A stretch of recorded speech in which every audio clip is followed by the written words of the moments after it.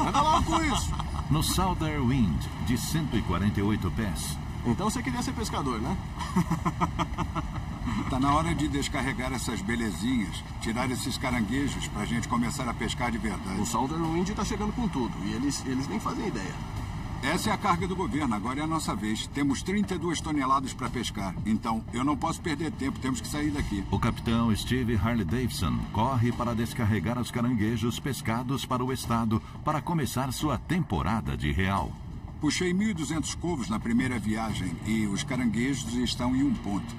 Quando a frota encontrar um barco lançar na biomassa, eles contam para os outros e todo mundo fica sabendo. E vão deixar apenas as sobras para mim. Então eu preciso ir logo. Harley possui as informações, mas cada segundo no cais reduz a sua vantagem. Cadê a chave?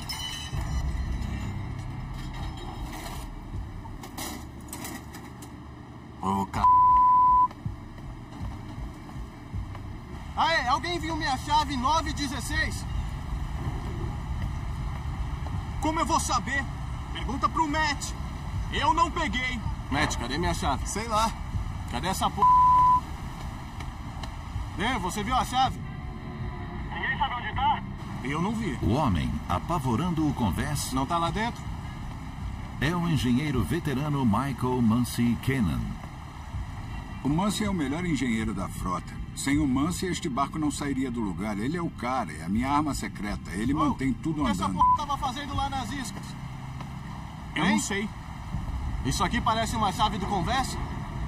Se acontece alguma coisa errada, esse cara é igual a um cão de caça. Ele voa no pescoço dos meninos no convés. Tem que devolver a chave pro lugar certo.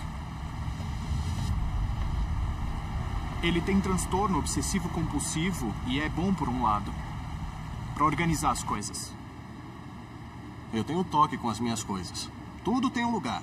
E se tiver fora do lugar, se alguém pegar, eu perco a paciência. Achou a chave? Encontrei. Acredita que a porra da chave estava lá nas iscas? Ah, não brinca. É, tava lá. Ensina esses moleques a cuidarem das é, coisas. eu já gritei com eles. Não deixa barato, se não levarem bronca, fazem de novo. Agora vamos. Vai, sobe!